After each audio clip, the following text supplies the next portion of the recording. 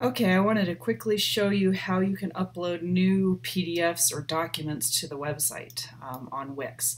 So first you want to log into wix.com. You're going to see your dashboard. You select your site and open up the editor by clicking on Edit Site, which I've already done.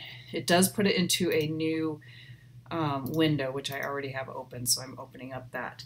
Then you want to go to the page that you want to upload your document to. Uh, so when you first come into the editor, you'll land on the home page. To get to the publications page, you can use this page drop-down menu here. You can also use this one over here. So there's kind of two. I find this one's a little easier to use because um, it organizes them a little bit nicer so you can see what they look like in the menu structure.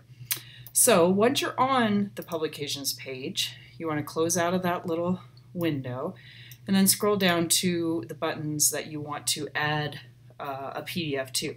In this case, um, we just need to change the name of this annual report to 2018. And we should actually, I guess, call it Community Report, since that's what you um, were calling it. Um, and now this is linking to a PDF that I have uploaded onto the server. So let's go here. So here it is. Let's rename this as well because I did, I think, have this with 2019 and it should be 2018.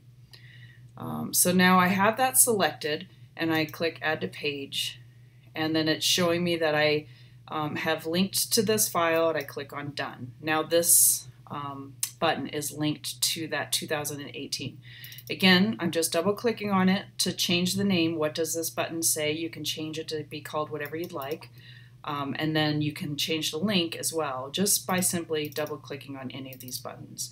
So if you want to upload a PDF of um, any of the other documents you mentioned, like the art plan, uh, the education master plan, um, that is just a matter of double clicking on this and then clicking here, go to choose file, and then you're going to upload a new PDF file. So you can upload any files from your computer. It does need to be a PDF and it can only be up to 25 megabytes.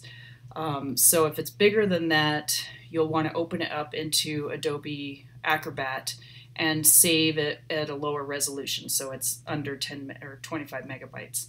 Um, you could also upload it to other avenues like a Google Drive under the um, FSUC account, like a Gmail account. Um, and put it in Google Drive, and then you would get the link from Google Drive and link it that way. Um, but if you want to upload the PDF into the Wix platform, you just click here on Upload Media. Um, and then once you've uploaded it, it will appear here. You can select it and then um, apply it to that, that uh, button. So I'm going to let you fix this one. It sounds like you have that Education Master Plan PDF. Right now it looks like this is linking to the public art map. Um, so feel free to change this to the appropriate PDF um, and uh, then that should be fixed. Now, any one other little thing, let's say you want to add another button like this. The way I do it is I just click on any of these things and then go up to your file um, or edit, I guess it would be, and then you can copy and paste. It's also just Command C on a Mac and Command V on a um, Mac, but uh, PC might be different. I can't remember. It might be a, a different Control um, C and Control V. But if you know your copy and paste fast keys, you can use those. Otherwise, use your File menu under Edit and then go Copy and then hit Paste. And what that does, well, let's see, did it paste? You can also right click on this and copy and paste. There it goes. I don't know why it didn't work that last time. If it doesn't work, try it again.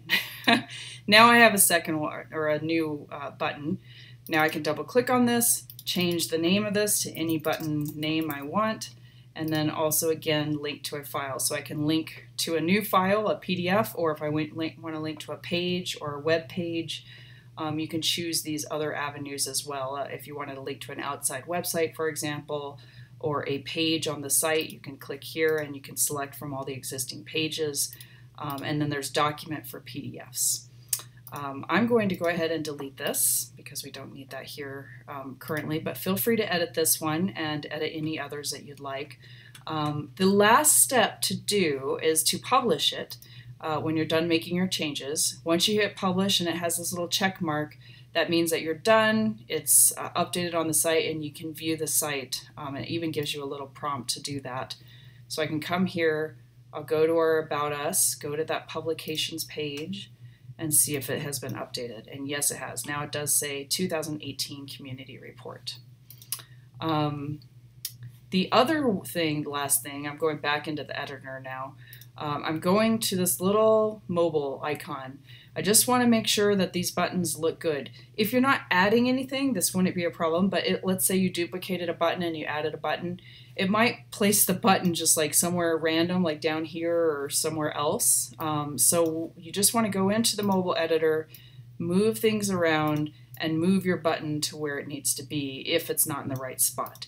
Again, this only happens when you add new elements, but I wanted to let you know that to double check the mobile view, you can also look at it on your phone. Um, and if you see anything out of place or out of sync uh, or overlapping, you can click on any of these items and move them accordingly. Um, so just keep that in mind. This is a great little drag tool that moves everything down below it. Um, so I love that little tool. You can also resize things using these little handles. Um, you can't actually do any edits to these, so I can't edit what it says or where it's linking because I do that in the desktop version.